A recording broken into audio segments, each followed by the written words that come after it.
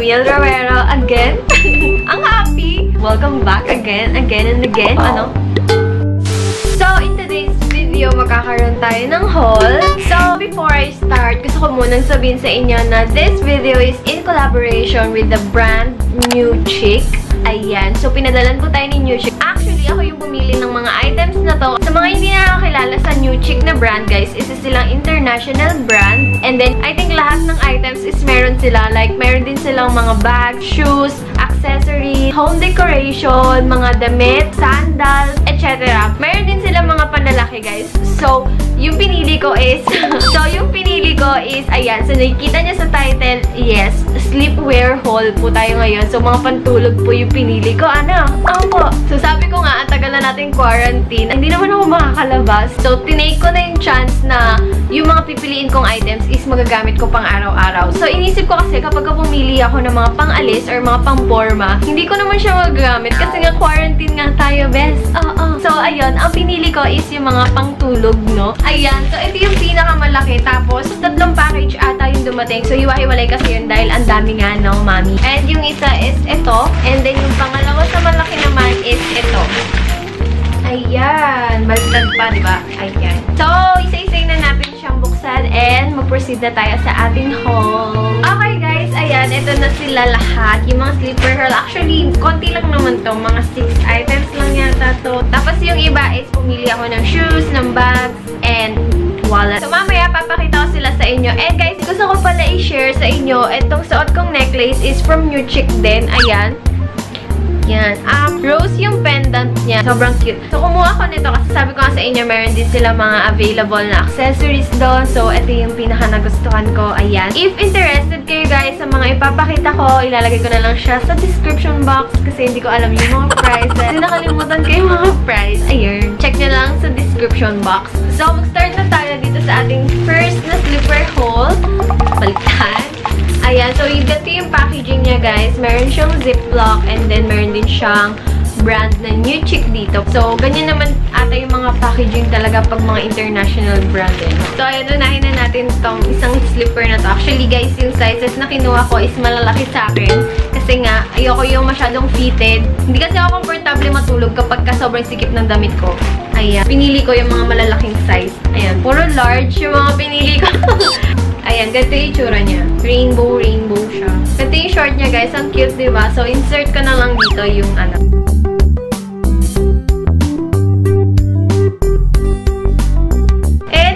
Meron pa sila nito. Ano to?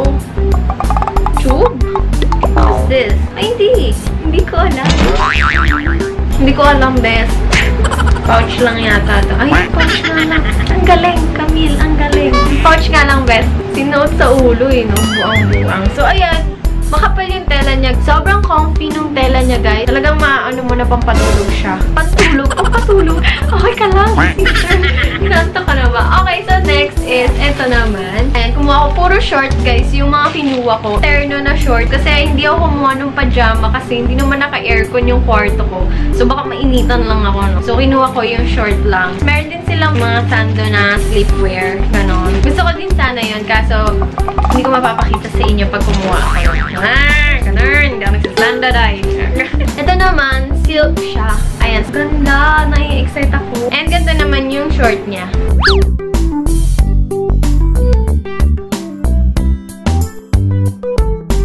Ang sarap niya sa balat. Talagang pantulog siya, guys. Ang gaganda ng mga tela nila. And then, meron lang siyang bulsa dito sa harap.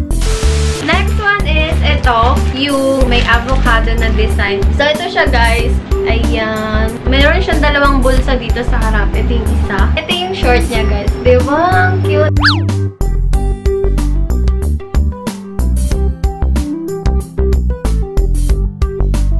Madami pong mga magagandang design doon ng slipper, guys. Kaso, yun nga, pinili ko lang yung talagang bet ko, ano. Ang gaganda ng mga design, di ba? Matutulog ka na lang, ang ganda mo pa rin. Next naman is ito. Ito naman, silk naman siya ulit, guys. Sobrang daming magandang sleepwear doon. As in, marirecommend ko talaga yung new chick sa inyo, guys. If ever na naghahanap kayo ng mga sleepwear. So, ayan. Ito naman yung isa. Ayan. And nandito sa harap, yung bulsa niya. And yung short niya naman is ito.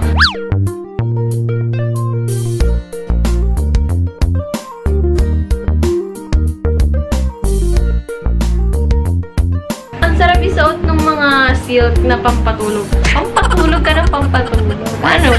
Kasi sobrang comfy niya. Parang ang hinihili pag natutulog ka. So, ayan. Last two na tayo dito sa ating sleepwear. And ito naman yung color red. Red or maroon. Hindi ko alam. Baka color blind ako. And ito naman, guys, silk din siya. So, kinuha ko to kasi wala naman din akong red. Sinadya ko kasi na iba-iba yung kulay at yung design nila, ano. So, next is itong red or maroon. Basta maroon kasi siya sa personal, guys. Pero dyan kasi sa video is red. So, meron din siyang pocket dito and then meron siyang white na line. And ayan, sobrang simple niya lang, guys. As in, talagang plain lang siya na may white dito. And then yung shirt niya is ganun din. May white sa baba. Ayan.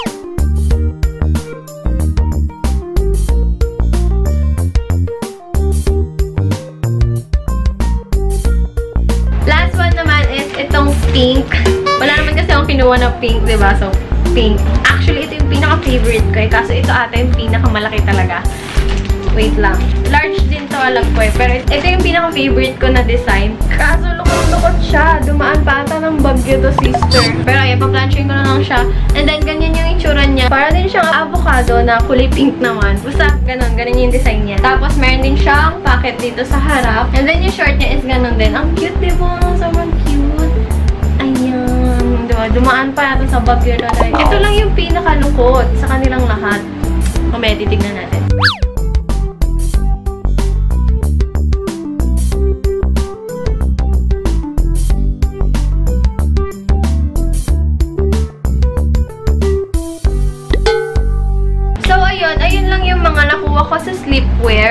Then, punta naman tayo dito sa bag na nakuha ko. Kasi kumuha ko ng dalawang bag. Actually, isang bag lang yung para sa akin. Tapos, yung isang bag is para kay mama. So, ito yung bag ni mama. Ayan. Meron din siyang new chick na tataksyaan.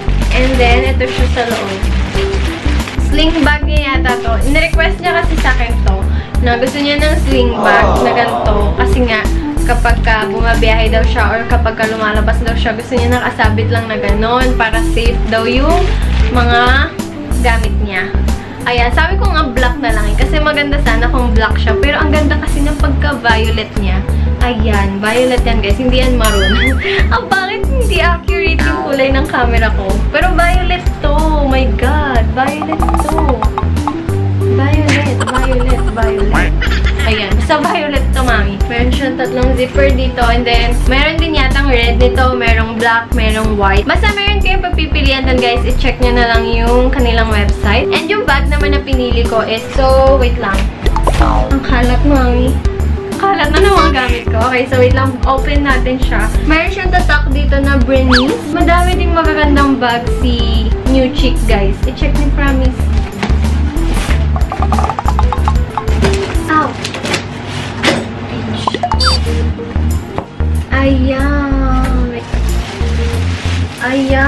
Bongga, ba?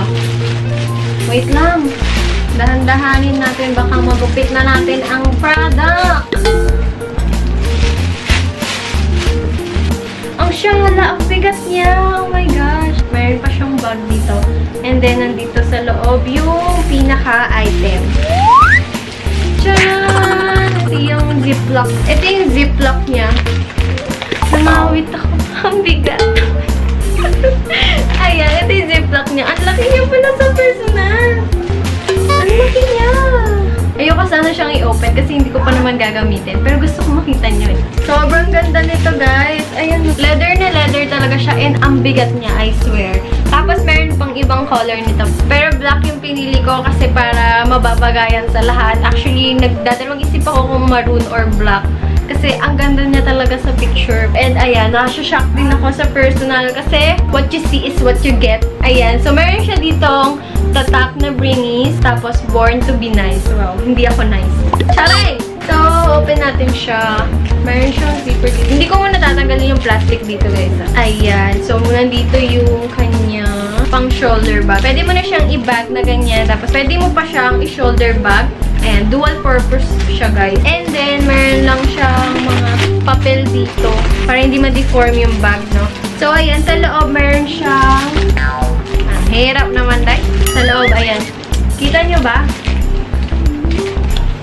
Ayan, meron siyang bulsa dito sa loob. Tapos, meron din parang mga card holder. Ata yung nandito sa bulsa. Basta ganon. So, ayan. Ayun lang. So, ayan na yung pinaka-last bag natin. Kasi dalawang bag lang naman yan. So, next is yung wallet na kinuha ko. Actually, ang kaganda rin ng mga wallet dun, guys. Ayan. Ito lang yung packaging niya, guys. Pero pang-shala naman na wallet to. Ayan. So, ganito yung itsura niya. Wait lang. May paper pa.